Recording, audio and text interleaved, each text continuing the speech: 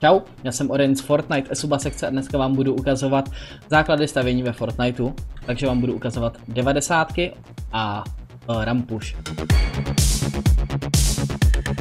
90 vlastně vypadají v praxi nějak takto. Je to vlastně jednoduchá cesta, jak si získat uh, high ground nad svým oponentem. Je to rychlý, uh, je to účinný a nestojí to ani tolik matra.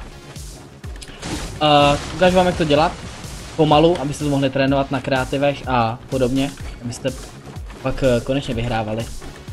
Uh, funguje to teda takto. Uděláte si rampu, dáte dvě boční stěny, vyskočíte, dáte podlahu a schody. Běžíte znova po této vnější hraně. Běžíte, dáte boční stěny, vyskočíte podlaha schody. A znova. Běžíte po, vně, po vnější hraně, boční stěna, výskok, podlaha a schody. Tak to vlastně opakujete. Boční stěna, výskok, podlaha, schody. Boční stěny, výskok, podlaha, schody. Můžete to dělat i vlastně i doleva, je to úplně stejné, akorát běžíte po druhé po druhý straně a děláte vlastně jen otočen, od, vlastně to děláte stejně, úplně stejně, akorát na druhou stranu. Akorát ta jedna strana vždycky bude o něco hůř. Další, co bych vám chtěl ukázat, tak je jak ušovat nepřítele, jak to dělat efektivně, aby se vám, aby vás nepodstřelil nebo podobně. Uh, jeden z těch lepších způsobů je normálně rampuš, kde vlastně dáváte podlahu, stěnu a, a schody. Je to vlastně účinný, protože oponent musí prostřelit dvě věci, aby, aby vás schodil dolů, ale řekněme si, že to není nejlepší. Jako dvě věci jsou super, ale podstřelit se to dá a furt vás to může uh, docela překvapit, můžete se zabít, napad a podobně, proto se používá vlastně rampuš, kdy děláte tohle akorát dvojitě že běžíte, dáváte takto. Tohle už prostě váš nepřítel téměř nemá šanci postřelit, pokud nemá nějaký raketomet nebo jiný explozivy. Uh, je důležitý, abyste vždycky dělali všechny tři, všechny tři části.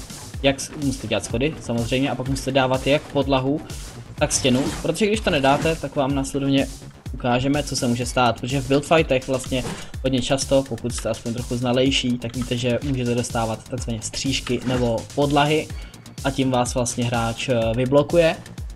A když mu tam dáváte ty podlahy a stěny, tak on vlastně není schopnej, není schopnej uh, vás vyblokovat tím. Funguje to vlastně jak takhle.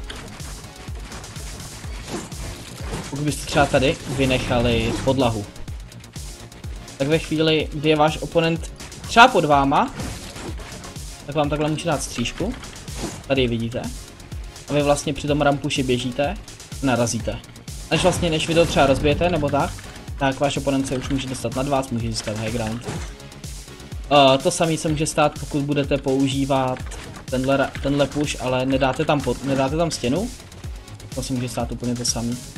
Váš oponent poběží a dá vám takhle střížku. Což pak ještě může dopadnout tak, že vás takhle zaboxuje. A buď vám může dát trap kill, což je velice nepříjemná záležitost. A nebo vlastně vás tam jenom boxne a uteče nahoru a on má tu výhodu, kterou jste měli předtím vy, než jste si nedali uh, buď podlahu nebo stěnu. To by bylo pro dnešek všechno. Dík moc, uh, že jste koukali a doufám, že vám to půjde při trénování. Čau.